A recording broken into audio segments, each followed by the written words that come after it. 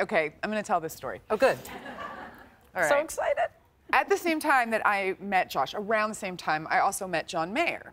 And John Mayer and I are from like neighboring towns, knew some of the same people.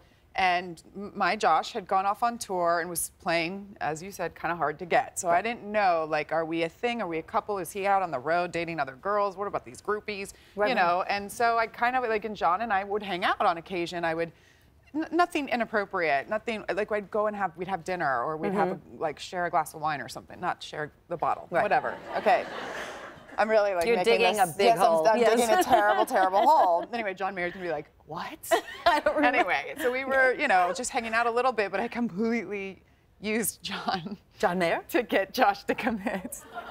Really? because these musicians, they're competitive and jealous of each other, whatever. And so I just was like, you know, Josh, I just, I, I gotta be honest, like this is over the phone, he was on tour, and I'm like, I just wanna know where we stand, because if not, you know, I might really try to pursue something with John. That was brilliant. That is brilliant, and it worked. Yeah. I've never ever told anyone that story. Oh now I'm so embarrassed because I just told the whole world. No, I think it's very clever. John's sitting at home like, how, When did what? you- when we did were you- just hanging out. When did you tell Josh? Just Uh, now? No, okay. no. I told him like I, I told him when did I tell him that I played it? Uh, probably like a year into marriage. Yeah, I yeah, was yeah. like, yeah, you got played.